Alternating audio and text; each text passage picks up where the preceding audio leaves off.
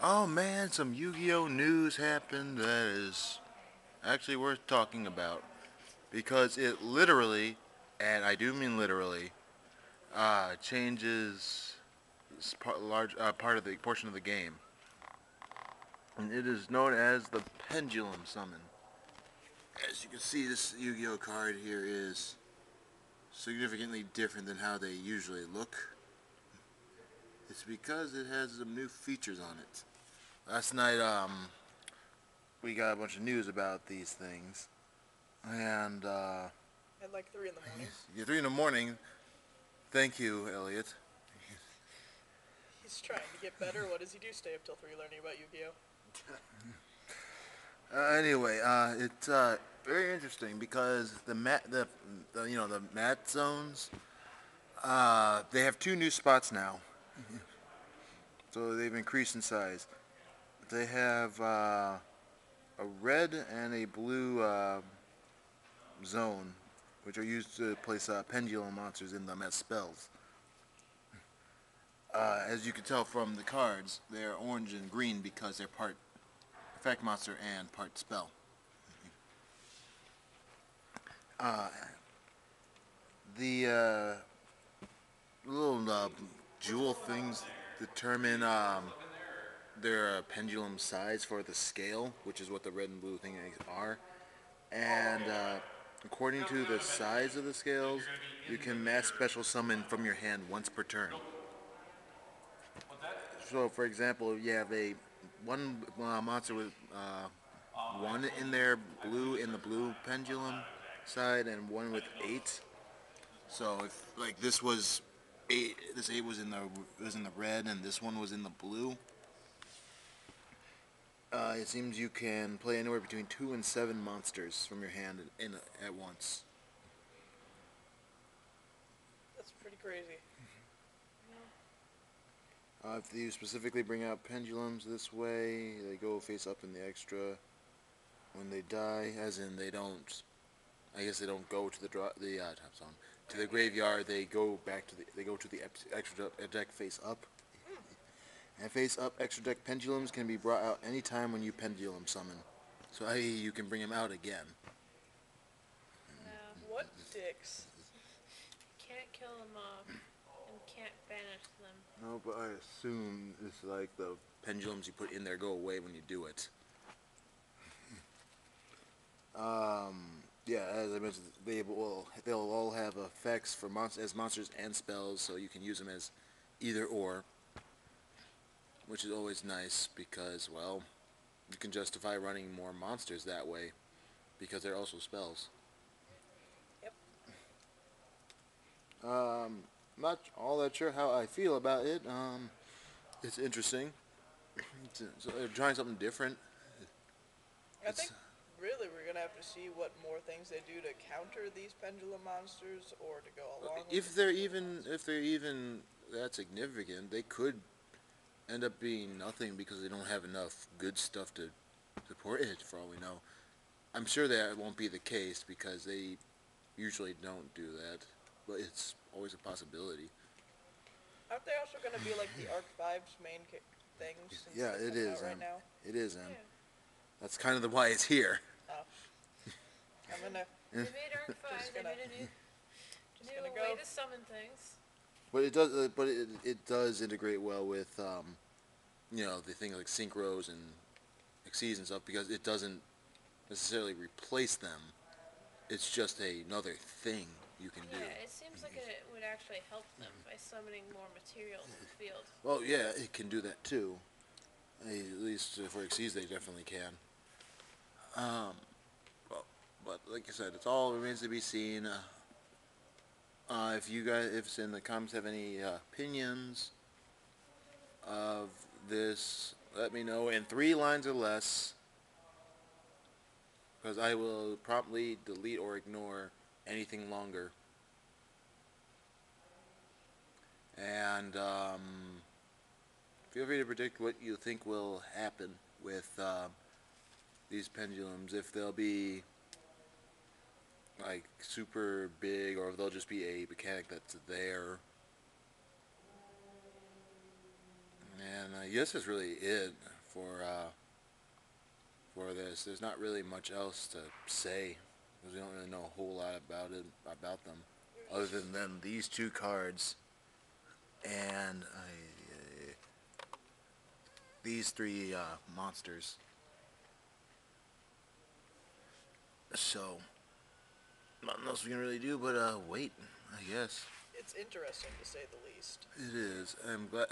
I, I am really glad they're doing something different for uh, Yu-Gi-Oh. Because it's like, if they were just gonna add another monster for the extra deck, it's like, come on.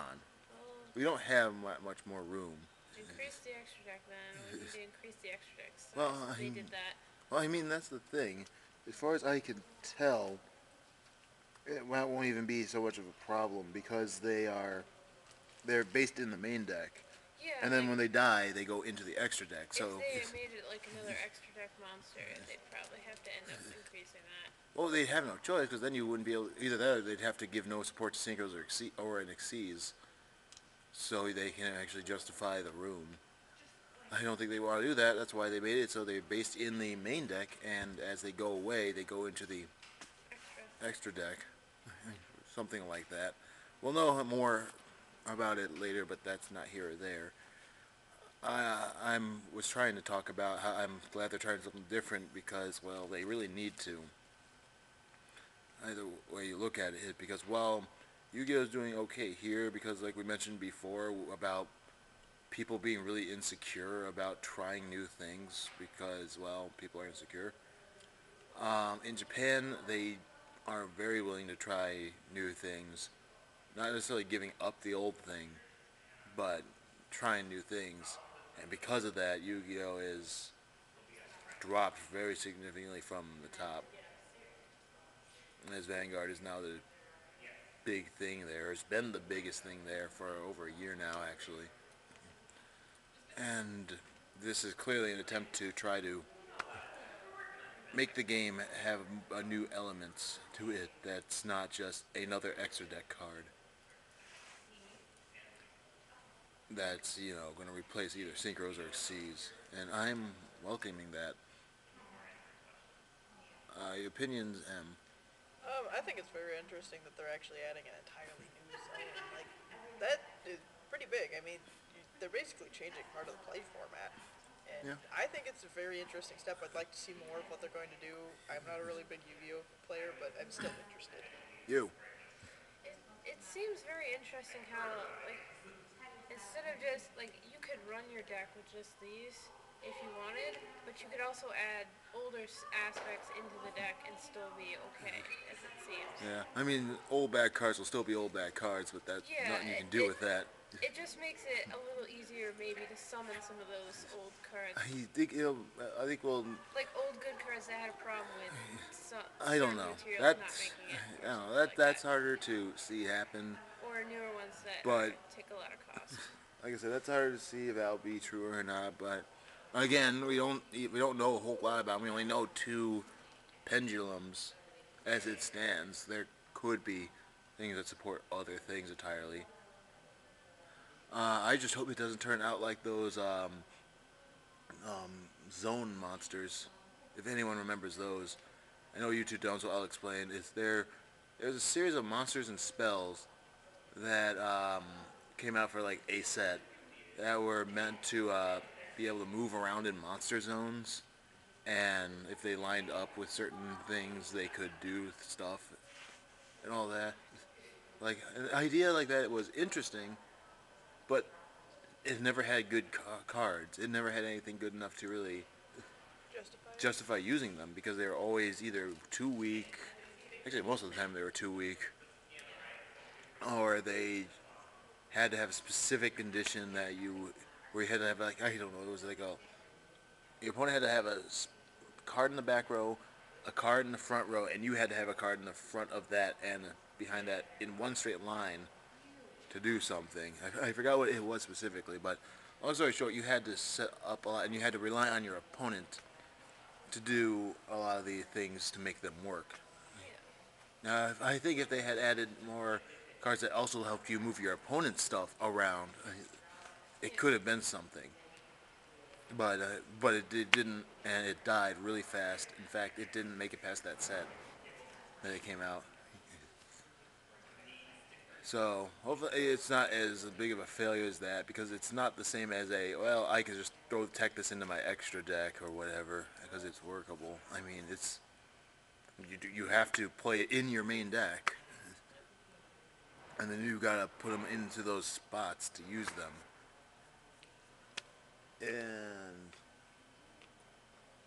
it's possible that uh, we might see more decks that are monster like based like almost like yeah like 70% monsters just because these guys are spells themselves I guess this means that once again Yu-Gi-Oh's trying to mimic Vanguard. it's probably trying to do something in the sense that it's trying to have everything be just monsters which can never happen unless they ban all of their sta- all the staple spells They ban all spells and traps. Nah they wouldn't do that. Minus these monsters, mind you. no i mean they don't have any trap pendulums. At least not yet. So it might not work out so well. Leave the traps, ban all the spells. either way, the point is, is that that, that really they I think that they are trying to make it so it's easier accessible to people who don't want to try to think about ratios too much by making the whole deck monsters being an actual option. But again, I can only say so much when we only have two examples. Yeah. So we're gonna have to wait and see. Uh, any last words? Finland. Okay. I guess that's her last word. Um, I my only last words are I want to see how this goes. I, I always want an example, a reason to try this game again, but every time I have a reason, it always ends up screwing me over in the end, and I end up leaving it anyway. It happened when um, the Noble Knights came out, and then they all became secret rare, so I couldn't afford them, so I had to give them up. It happened when the uh, um, new rule things happened, but nothing really interesting ever came up came of it. Yeah. And I don't want this to happen with these two, because I just, again, it's like the first card game that I really enjoyed enough to actually play regularly. It's Something got you into that card games. it's not, something got me into card games for the sake of playing them. Cause I played Mag, I played Magic in the '90s. I played Pokemon. I played even played Digimon, but none of them really or games I actually wanted to play. Play like like Pokemon. I ended up only collecting them, and same with Digimon. um, freaking Magic. I just I hated it so much playing it. It was just such a just boring game to me. Uh, and then I had this game come out, and it was just so fun. Just because it was, it didn't have as many stupid stuff at the time, and then it just slowly decayed and became one of those stupid games. And I never want to say that about this game because I loved it so much. So I'm hoping this is a good thing for the game, something that can make it better. But it might not. It might not even leave an impression for all we know. Here's hoping for the best. Yep, I'm hoping for the best. It's these two cards as you see here are the protagonist's cards. He has two. And he's also the first protagonist, at least so far that we can tell, who does not have a monster with 2,500 attack. Yeah. So, I mean, this where it's uh, anything's possible. Or maybe his real main monster's in the deck and we haven't seen it yet. It's hard to say. I just know that I hope that this is a good thing for the game. There's nothing they can do about the um, things that they had in like the extra rulings, the sub steps, especially the sub steps. Those are the thing that really just kill the game for a lot of people. Like the priority and different steps inside the damage step. Like I mean, a lot of people get turned off Yu-Gi-Oh right then and there. Yeah, these two are exact examples right there.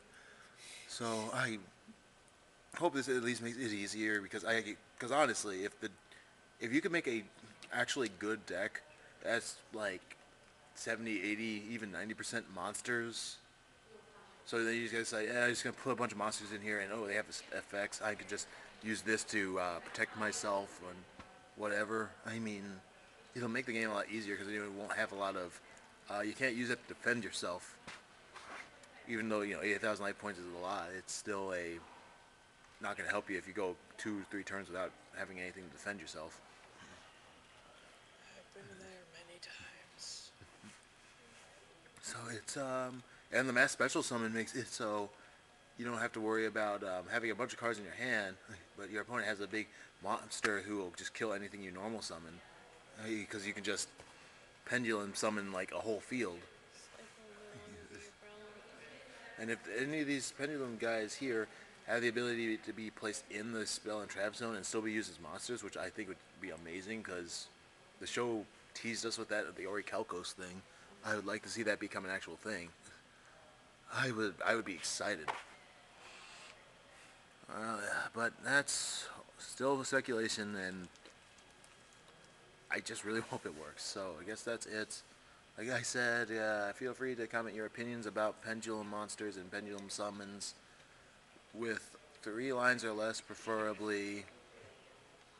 No calling it, if possible, because that's kind of stupid to try to exclaim that you know how the meta is going to work when we know nothing of the cards or barely anything about the cards. So just just try to keep it um, opinion, just opinions or predictions. I guess that's it. Um, I guess at some point we'll get to a Vanguard episode uh, review because it was so.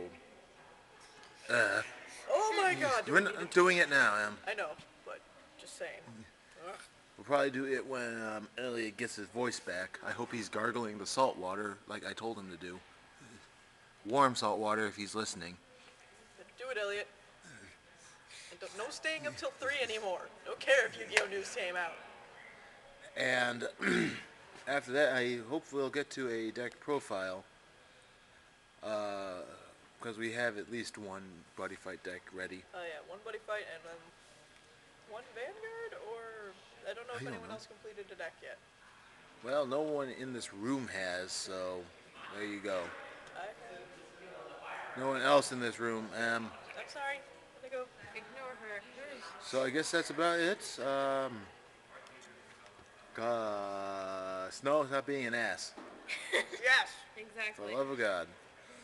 We're halfway through February. It needs Halfway to through end. February tomorrow, and then the next few days after that, it's going to be in the high 30s, uh, high 40s. This is the last day of below uh, freezing temperature. Don't snow. I don't care what the weatherman says. I don't need three to five inches. Go away, Snow. Even I, if I, it, it makes me lose my words because of how angry I am. It just had to go one more day, and it, and I'd been okay. Because then it would just been rain. Yep. But no, it had it had to be today.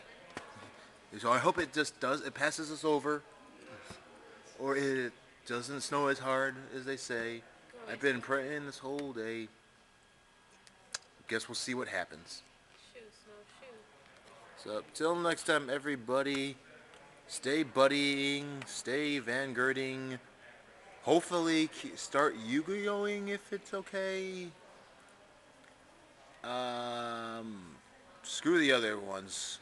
They're they're not really doing anything different nor trying to, because they don't feel like they have to because they're pricks. And fuck snow. Yes, and that too. Bye. Bye.